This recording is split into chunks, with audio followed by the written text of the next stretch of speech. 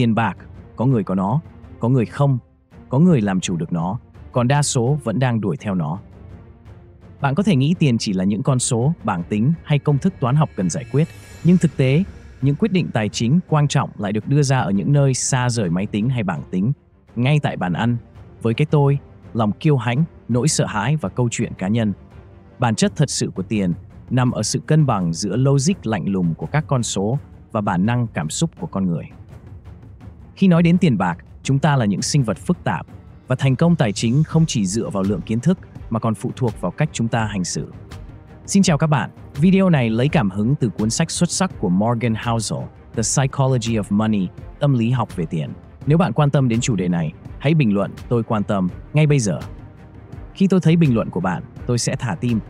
Và nếu bạn muốn ủng hộ kênh, hãy nhấn like và đăng ký. Điều đó chỉ mất chưa đầy một giây và giúp ích rất nhiều cho kênh. Chúng tôi sẽ mang đến nhiều nội dung truyền cảm hứng, đầy những mẹo giúp bạn sống một cuộc sống thành công và trọn vẹn hơn. Bắt đầu thôi nào. DNA tài chính, những trải nghiệm định hình tư duy về tiền bạc. Mỗi người trong chúng ta được sinh ra trong hoàn cảnh khác nhau, từ gia đình, thu nhập đến môi trường sống. Chúng ta lớn lên trong những nền kinh tế, giá trị văn hóa và cơ hội rất khác biệt. Chính vì vậy, trải nghiệm về tiền bạc của mỗi người cũng không giống nhau, dẫn đến cách nhìn nhận và hành động tài chính riêng biệt. Hãy xem xét tác động của thị trường chứng khoán và lạm phát đến từng thế hệ. Người sinh năm 1970 trưởng thành trong thời kỳ chỉ số S&P 500 tăng gần 10 lần trong những năm tuổi trẻ. Điều này tạo cho họ cái nhìn tích cực hơn về thị trường chứng khoán, với xu hướng đầu tư mạnh mẽ. Người sinh năm 1950, ngược lại, chứng kiến thị trường chứng khoán gần như dậm chân tại chỗ trong cùng giai đoạn. Kết quả là họ có cái nhìn tiêu cực hơn và ít đầu tư vào cổ phiếu. Thế hệ sinh vào những năm 1960 lớn lên trong bối cảnh lạm phát nghiêm trọng, khiến họ nhận thức sâu sắc về tác động tiêu cực của lạm phát, dẫn đến thái độ thận trọng và dè dặt hơn với các rủi ro tài chính. Trong khi đó, người sinh năm 1990 trưởng thành khi lạm phát ở mức thấp nên họ ít quan tâm và có nhận thức mờ nhạt hơn về ảnh hưởng của nó. Những trải nghiệm tài chính trong thời kỳ trưởng thành ảnh hưởng sâu sắc đến thái độ, hành vi và quyết định của mỗi cá nhân khi đầu tư. Ví dụ, nghiên cứu của Dalbar năm 2023 cho thấy rằng 90% hành động sai, sai lầm trong đầu tư xuất phát từ cảm xúc và nhận thức chủ quan, không phải từ thực tế khách quan của thị trường. Điều này giải thích tại sao mọi người thường đưa ra quyết định tài chính dựa trên thông tin mà họ có và cách họ nhìn nhận thế giới, vốn được định hình bởi cha mẹ, môi trường sống hoặc các trải nghiệm cá nhân. Dù có thể sai lầm, thiếu thông tin hay thậm chí đưa ra các quyết định tồi, hành động của họ vẫn hoàn toàn hợp lý trong bối cảnh riêng của chính họ. Như Morgan Housel đã nói, mọi người làm những điều điên rồ với tiền bạc, nhưng không ai thực sự điên rồ cả. Chúng ta đều nhìn nhận tiền bạc qua lăng kính riêng của mình, dựa trên câu chuyện sống và trải nghiệm cá nhân. Vì không có cách quản lý tiền bạc nào là tuyệt đối đúng cho tất cả, nên không ai đáng bị xem là điên rồ. Điều quan trọng là hiểu rõ nguồn gốc của hành vi tài chính, từ đó xây dựng tư duy đầu tư phù hợp với chính mình và bối cảnh của thời đại. Chúng ta đưa ra các quyết định tài chính dựa trên trải nghiệm cuộc sống và cách nhìn nhận thế giới của mình. Bí mật lãi kép Không ai phủ nhận rằng Warren Buffett là một trong những nhà đầu tư vĩ đại nhất mọi thời đại. Nhưng điều đáng kinh ngạc là 81,5 tỷ đô la trong tổng tài sản 133 tỷ đô la của ông chỉ được tạo ra sau khi ông bước qua tuổi 60. Morgan Housel giải thích rằng, hầu hết mọi người không chú ý đủ đến một sự thật đơn đơn giản. Dolphins không chỉ nhờ ông là một nhà đầu tư giỏi, mà còn nhờ ông đã đầu tư từ khi còn rất trẻ. Bắt đầu từ năm 10 tuổi, Buffett đã tận dụng sức mạnh của lãi kép. Hãy thử tưởng tượng, bạn đầu tư 1.000 đô la với lãi suất 8% mỗi năm. Sau một năm, bạn kiếm được 80 đô la. Nếu tiếp tục tái đầu tư toàn bộ 1.080 đô la, đó với lãi suất 8%, năm tiếp theo bạn sẽ kiếm được 86,4 đô la.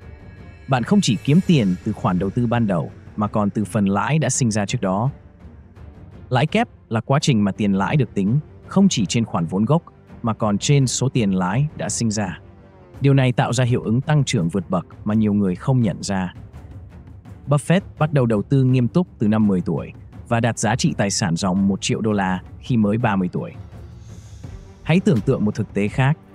Nếu Warren Buffett sống như hầu hết thanh niên ở độ tuổi 20, chi tiêu nhiều cho du lịch hay xe hơi và bắt đầu tích lũy tài sản từ năm 30 tuổi với 25.000 đô la, Dù vẫn đạt mức lợi nhuận trung bình 22% hàng năm, tài sản hiện tại của ông chỉ khoảng 11,9 triệu đô la, thấp hơn 99,9% so với con số 133 tỷ đô la hiện tại. Thành công vượt bậc của Warren Buffett có thể được giải thích bởi hai yếu tố chính. Nền tảng tài chính vững chắc, ông xây dựng từ khi còn trẻ và khả năng đầu tư lâu dài không ngừng nghỉ. Kỹ năng của Buffett là đầu tư nhưng bí quyết thực sự đưa ông đến thành công lại nằm ở thời gian và sức mạnh của lãi kép. Hãy nhìn vấn đề này từ một góc độ khác. Warren Buffett được coi là nhà đầu tư giàu nhất mọi thời đại. Tuy nhiên, xét về tỷ suất lợi nhuận trung bình hàng năm, ông không phải là người đứng đầu. Jim Simons, một nhà quản lý quỹ đầu tư mạo hiểm, đã đạt mức lợi nhuận trung bình 66% mỗi năm kể từ năm 1988, cao hơn hẳn Buffett. Tuy nhiên, giá trị tài sản ròng của Siemens chỉ đạt 21 tỷ đô la, thấp hơn Buffett tới 75%. Lý do tại sao?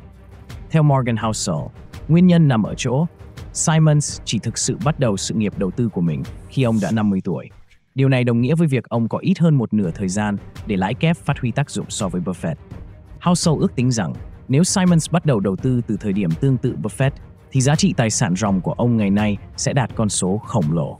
Con số các bạn xem trên màn hình. Sức mạnh của lãi kép là một điều không thể xem nhẹ. Dù kết quả có vẻ khó tin đến đâu, nó vẫn là yếu tố quyết định đến sự tăng trưởng tài chính bền vững. Bi quan và tiền bạc. Lạc quan là niềm tin rằng cơ hội đạt được kết quả tốt sẽ nghiêng về phía bạn theo thời gian, ngay cả khi có những khó khăn trên đường đi. Tuy nhiên, khi nói đến tiền bạc, hầu hết chúng ta đều mang trong mình một xu hướng bi quan sâu sắc. Nhìn lại lịch sử, tình hình tài chính và kinh tế thế giới thực tế đã cải thiện đáng kể qua các năm.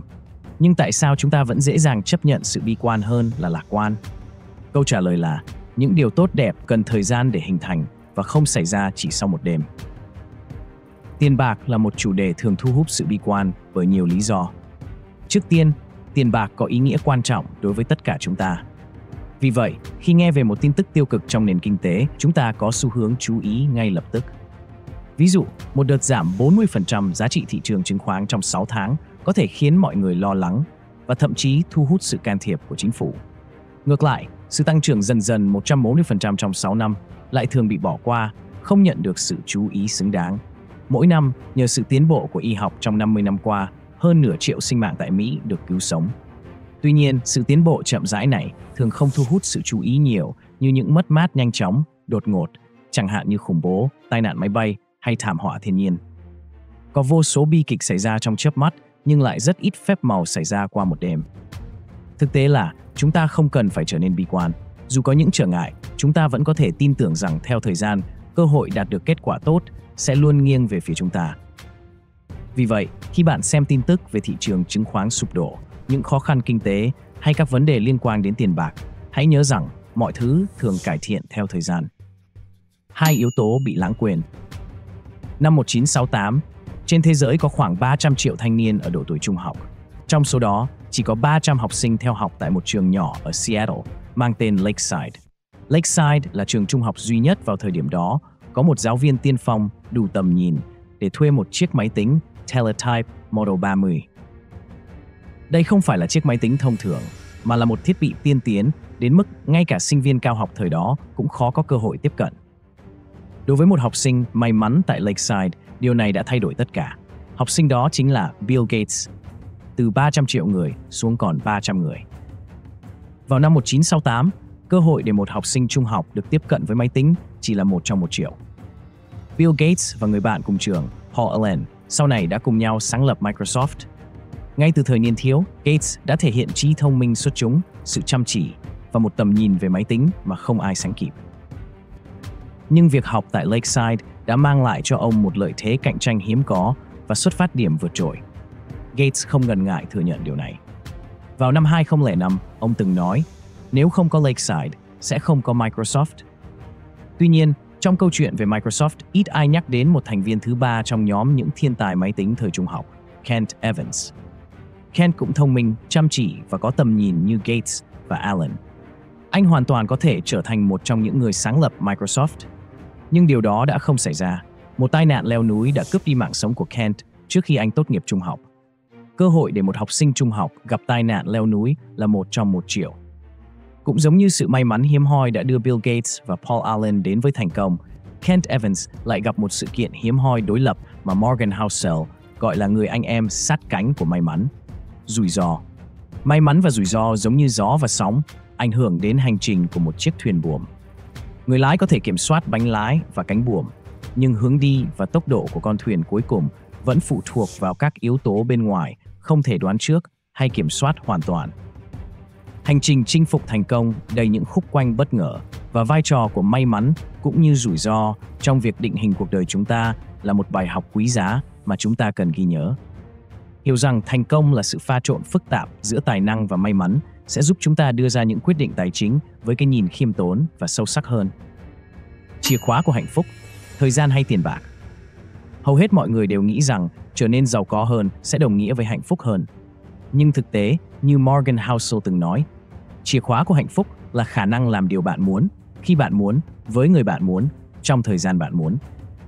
Xã hội hiện đại thường thúc đẩy chúng ta lao vào cuộc đua không hồi kết để tích lũy của cải, mua nhà to hơn, xe sang hơn hay sở hữu những món đồ xa xỉ. Nhưng bạn có biết không? 80% người lao động Việt Nam thường xuyên cảm thấy căng thẳng vì công việc, theo báo cáo của Tổ chức Lao động Quốc tế ILO.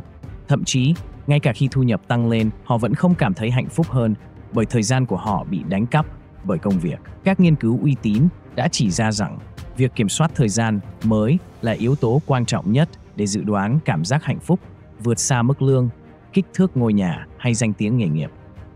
Một nghiên cứu từ Đại học Harvard cho thấy, những người có khả năng kiểm soát thời gian của mình, dù giàu hay không, thường có mức độ hài lòng với cuộc sống cao hơn gấp 2 đến 3 lần so với những người không làm được điều đó.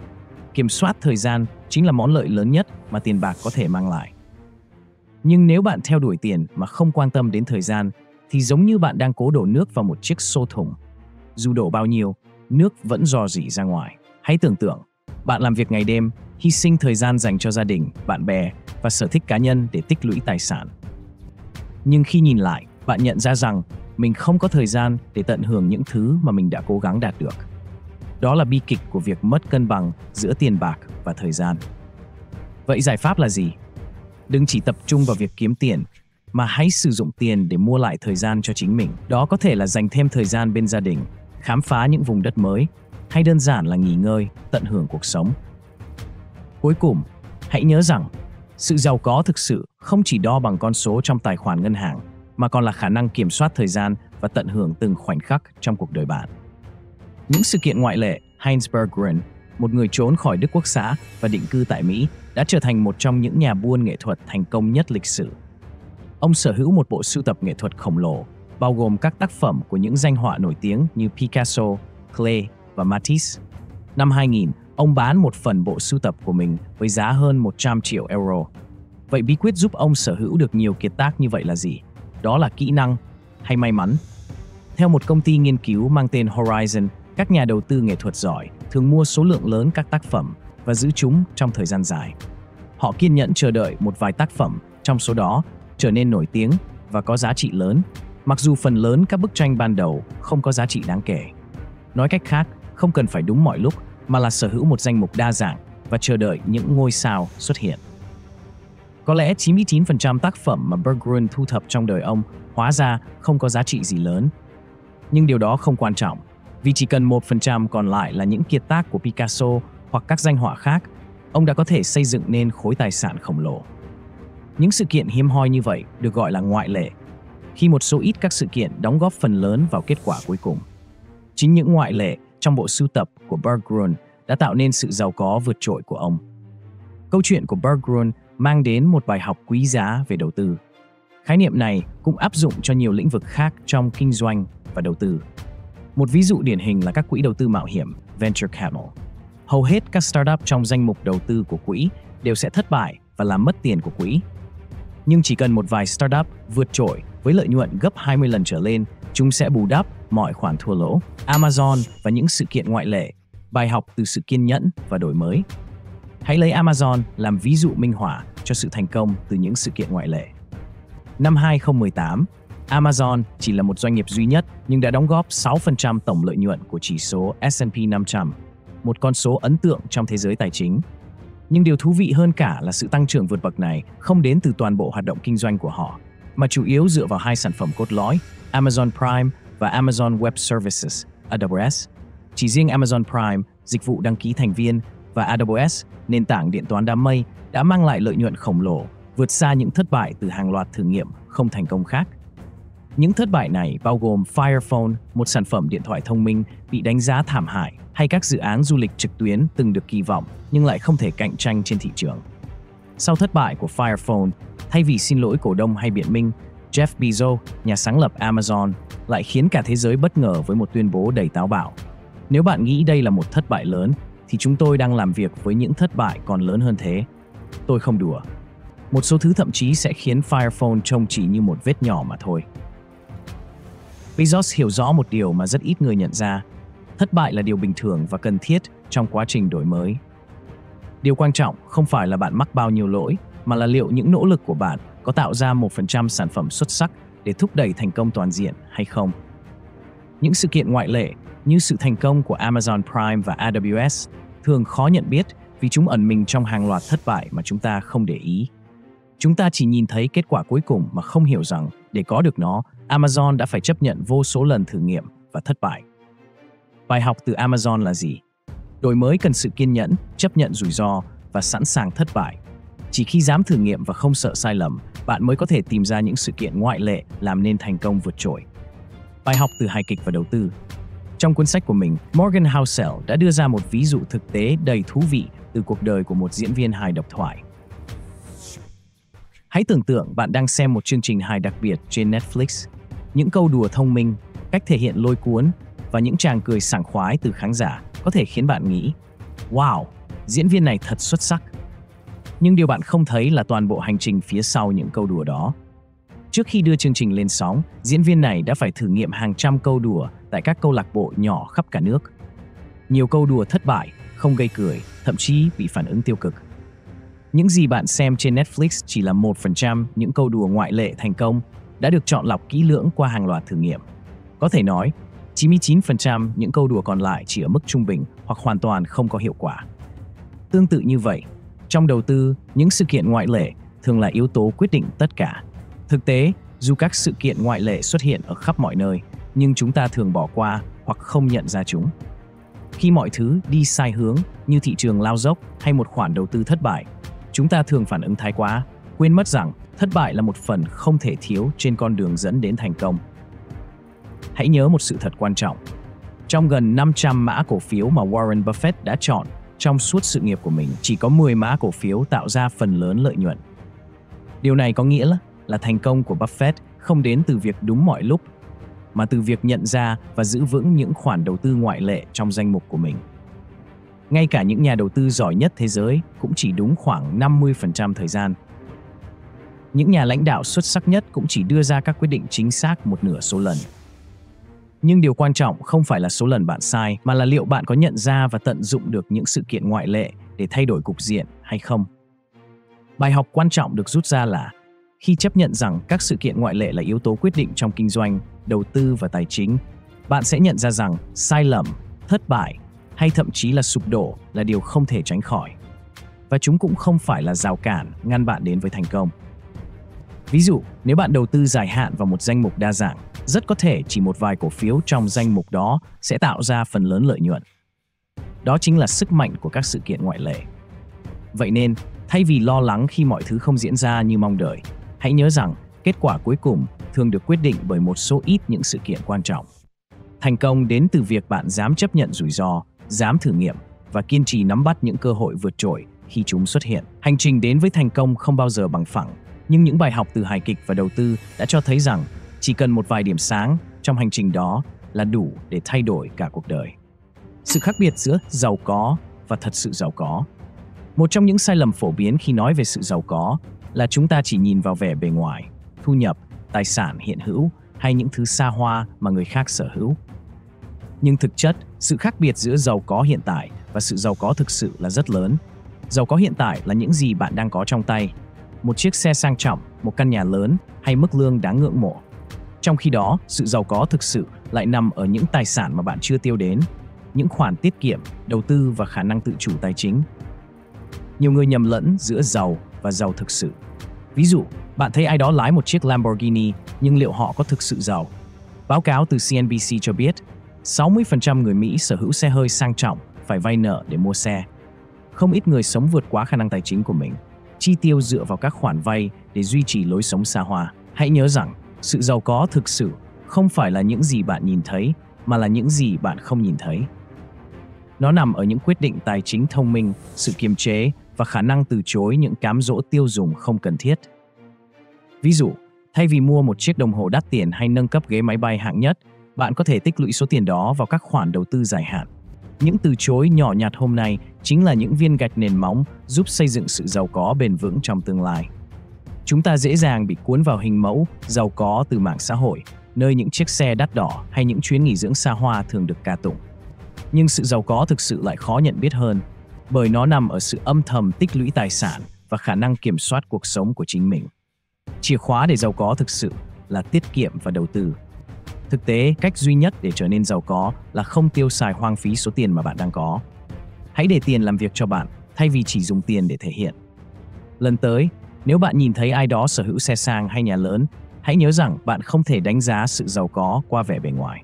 Sự giàu có thật sự nằm ở tự chủ, kiềm chế, xây dựng tài sản và đầu tư bền vững cho tương lai. Cái giá thực sự để đạt được thành công trong đầu tư. Hãy tưởng tượng bạn đang leo lên một ngọn núi với mục tiêu chạm tới đỉnh để chiêm ngưỡng toàn cảnh tuyệt vời từ trên cao. Tuy nhiên, hành trình không bao giờ dễ dàng. Có thể hôm đó thời tiết thuận lợi hoặc cũng có thể mưa gió cản trở. Bạn có thể bị lạc đường, thậm chí trượt ngã và bị thương. Những khó khăn thật sự chỉ lộ rõ khi bạn bắt đầu hành trình, chứ không phải khi bạn đứng dưới chân núi và mơ tưởng về đỉnh cao.